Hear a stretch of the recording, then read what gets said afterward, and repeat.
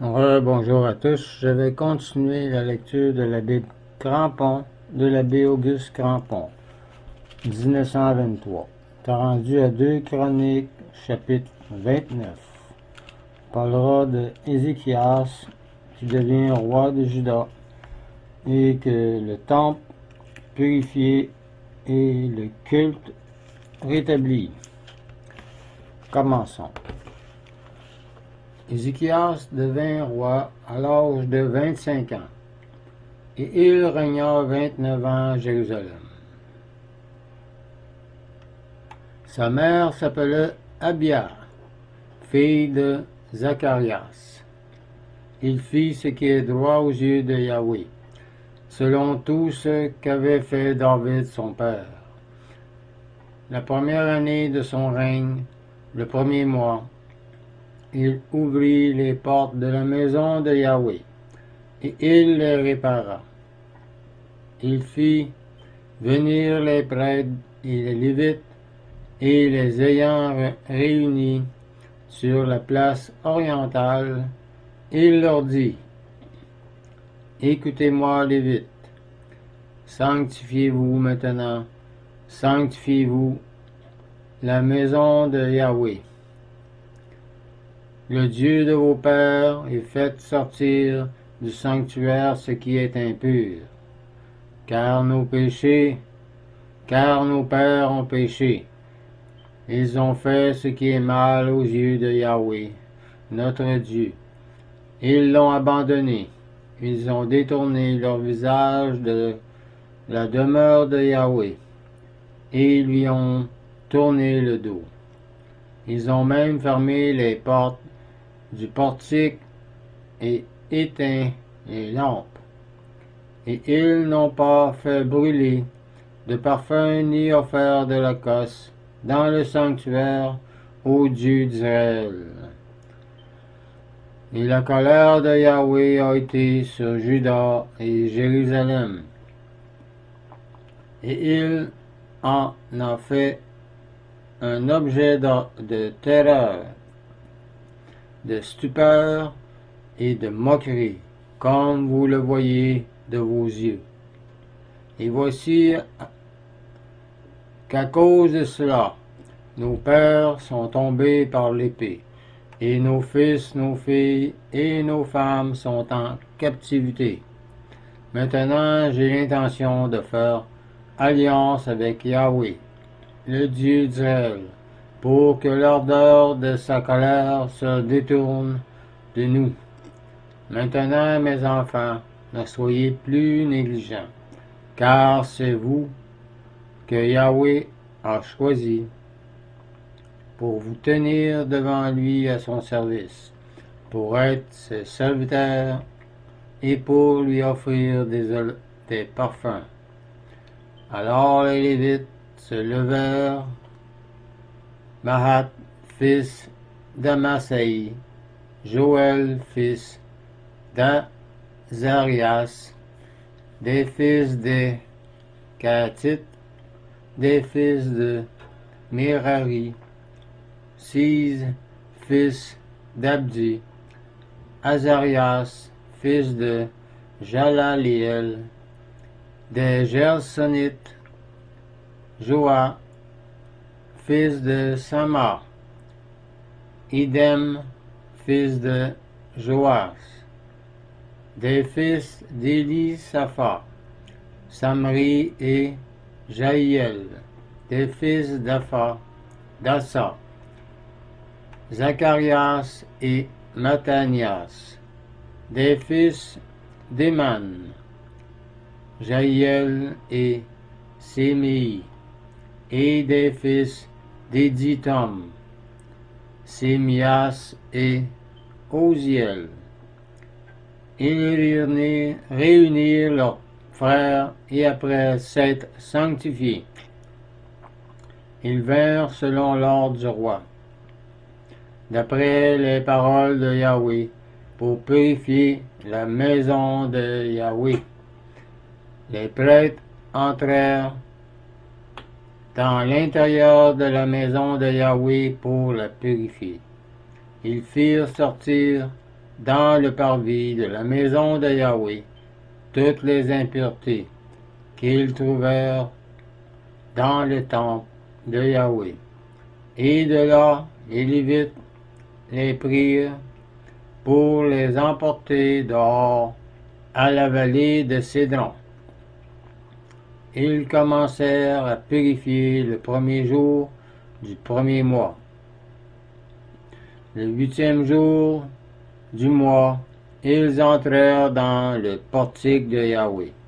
Ils mirent huit jours à purifier la maison de Yahweh. Le seizième jour du premier mois, ils avaient achevé. Ils se rendirent ensuite chez le roi Ézéchias et dirent, Nous avons purifié toute la maison de Yahweh, l'autel des holocaustes et tous ses ustensiles, et la table de proposition et tous ses ustensiles, et tous les ustensiles que le roi Achaz avait profanés pendant son règne. Lors de ces transgressions, nous les avons remis en état et purifiés. Ils sont devant l'autel de Yahweh. Le roi Ézéchias s'étant levé de bon matin, assembla les chefs de la ville et monta à la maison de Yahweh. Ils présentèrent sept taureaux, sept béliers, sept agneaux et sept boucs en sacrifice pour le péché, pour le royaume, pour le sanctuaire et pour Judas. Le roi dit au prêtre, fils d'Aaron, de les offrir sur l'autel de Yahweh. Ils immolèrent les bœufs et les prêtres recueillirent le sang qu'ils répandirent sur l'autel. Ils immolèrent les béliers et répandirent le sang sur l'autel. Ils immolèrent les agneaux et répandirent le sang sur l'autel. Puis ils firent approcher les boucs pour le péché devant le roi et l'assemblée. Et tous posèrent la main sur eux. Les prêtres les égorgèrent et avec leur sang, ils firent l'expiation à l'autel, faisant l'expiation pour tout Israël, car c'était pour tout Israël que le roi avait ordonné l'Holocauste et le sacrifice pour le péché. Il fit placer les Lévites dans la maison de Yahweh avec des cymbales, des cithars et des harpes, selon l'ordre de David, de Gad, le voyant du roi, et de Nathan le prophète, car cet ordre venait de Yahweh par l'organe de ses prophètes. Les Lévites prirent place avec les instruments de David et les prêtres avec les trompettes. Et Ézéchias dit d'offrir l'Holocauste sur l'autel. Au moment où commença l'Holocauste, commençait aussi le chant de Yahweh et le son des trompettes, accompagnés avec les instruments de David, roi d'Israël. Toute l'assemblée se prosterna, on chanta le cantique et l'on sonna des trompettes, le tout jusqu'à ce que l'Holocauste fût achevé. Quand l'Holocauste fut achevé, le roi et tous ceux qui étaient avec lui fléchirent le genou et adorèrent.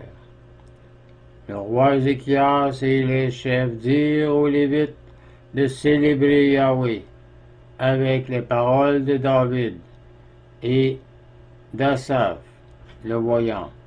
Et ils célébrèrent avec joie, et s'inclinant, ils adorèrent Alors Ézéchias prit la parole et dit, Maintenant vous vous êtes consacrés de nouveau à Yahweh. À Yahweh. Approchez-vous, présentez des sacrifices et des actions de grâce dans la maison de Yahweh. Et l'assemblée présenta des sacrifices et des actions de grâce. Et tous ceux dont le cœur était généreux offrirent des holocaustes. Le nombre des holocaustes qu'offrit l'assemblée fut de soixante-dix bœufs, cent béliers et deux cents agneaux. Tout cela pour un holocauste à Yahweh. On consacra en outre six cents bœufs et trois mille brebis. Mais les prêtres, étant en petit nombre, ne purent dépouiller tous les holocaustes. Leurs frères, les Lévites, les aidèrent jusqu'à ce que l'ouvrage fût fini, et jusqu'à ce que les autres prêtres se fussent sanctifiés, car les Lévites avaient mis plus de sincérité de cœur que les prêtres à se sanctifier. Il y avait d'ailleurs beaucoup d'holocaustes, outre les graisses de, des sacrifices pacifiques et les libations pour les holocaustes. Ainsi fut établi le service de, la maison de Yahweh. Ézéchias et tout le peuple se rejoint se réjouir de ce que Dieu avait préparé pour le peuple, car la chose s'était faite subitement. Au chapitre 30 de deux chroniques, on parlera de la célébration solennelle de la Pâque sous Ézéchias. Ézéchias envoya des messagers dans tout Israël et Juda.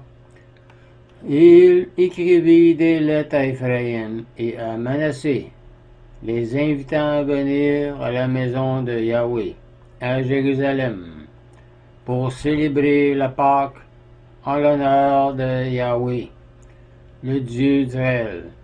Le roi, ses chefs et toute l'assemblée de Jérusalem avait tenu conseil avant que la Pâque fût célébrée au second mois, car on avait pu la faire en son temps, parce que les prêtres s'étaient pas sanctifiés en assez grand nombre, et que le peuple ne s'était pas rassemblé à Jérusalem la chose parut juste aux yeux du roi et de toute l'assemblée.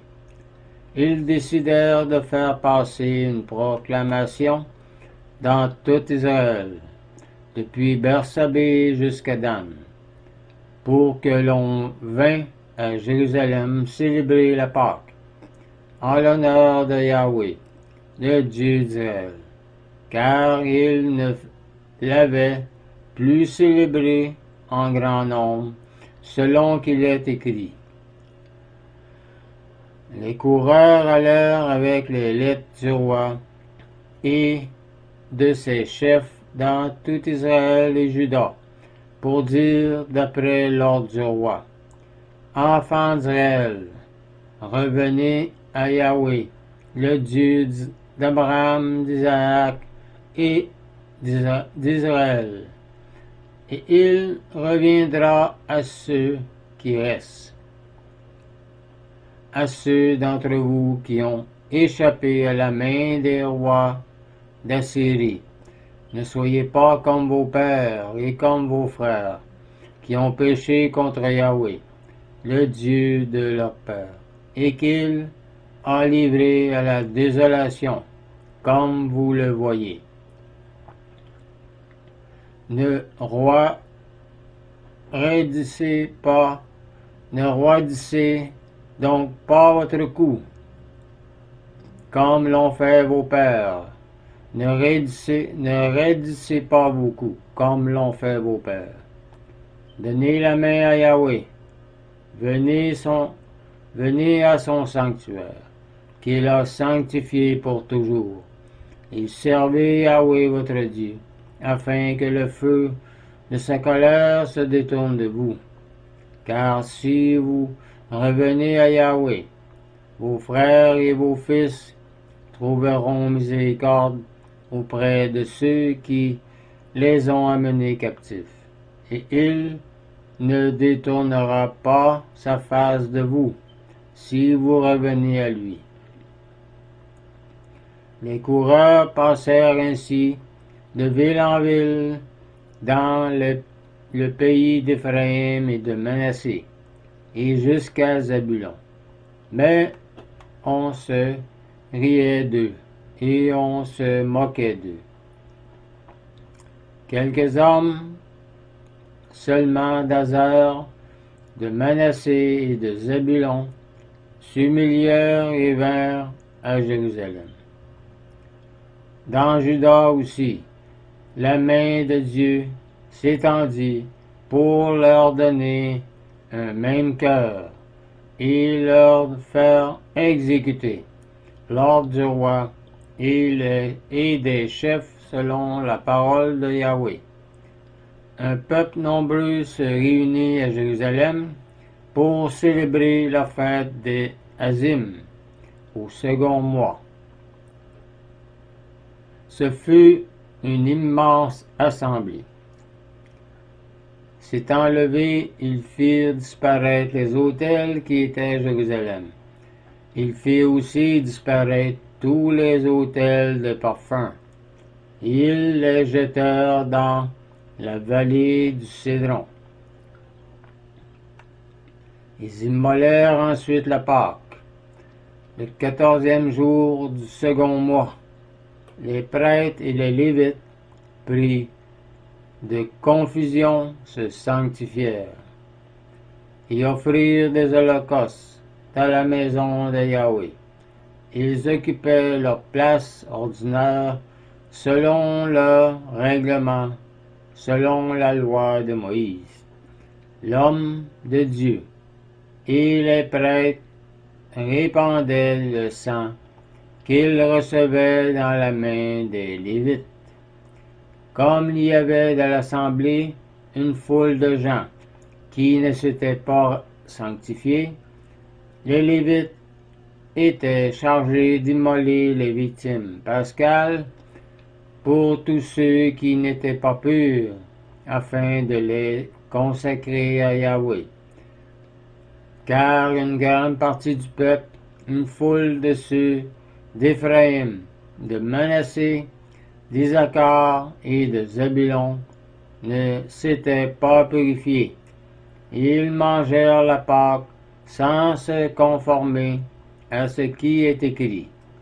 Mais Ézéchias pria pour eux en disant que Yahweh qui est bon pardonne à tous ceux qui ont appliqué leur cœur à chercher Dieu. Yahweh le Dieu de leur père, quoiqu'il n'ait pas la pureté requise au sanctuaire. Exauce Yahweh exauce Ézéchias et pardonna au peuple. Oui, Yahweh exauça Ézéchias et pardonna au peuple. Et les enfants d'Israël qui se trouvèrent à Jérusalem célébrèrent la fête des Azim pendant ces jours avec une grande joie. Et chaque jour, les Lévites et les prêtres louaient Yahweh avec les instruments puissants, en l'honneur de Yahweh. Ézéchias parla au cœur de tous les Lévites, qui montraient une grande intelligence pour le service de Yahweh. Ils mangèrent les victimes de la fête pendant ces jours, offrant des sacrifices spécifiques et louant Yahweh. Le Dieu de leur père. Toute l'assemblée fut d'avis de célébrer sept autres jours. Et ils célébrèrent sept autres jours joyeusement, car Ézéchias, roi de Juda, avait donné à l'assemblée mille taureaux et sept mille brebis, et les chefs lui avaient donné mille taureaux et dix mille brebis. Et des prêtres en grand nombre s'étaient sanctifiés. Toute l'assemblée de Juda, les prêtres et les Lévites, toute l'assemblée venue d'Israël, et les étrangers venus du pays d'Israël, ou établis en Juda, se livrèrent à la joie. Il y eut à Jérusalem de grandes réjouissances, au, point que depuis le temps de Salomon, fils de David, roi d'Israël, rien de semblable n'avait eu lieu dans Jérusalem. Les prêtres lévitiques se levèrent et bénirent le peuple, et leur voix fut entendue. Leur prière arriva jusqu'à la sainte demeure de Yahweh, jusqu'au ciel. Ce serait tout pour cette vidéo et pour aujourd'hui.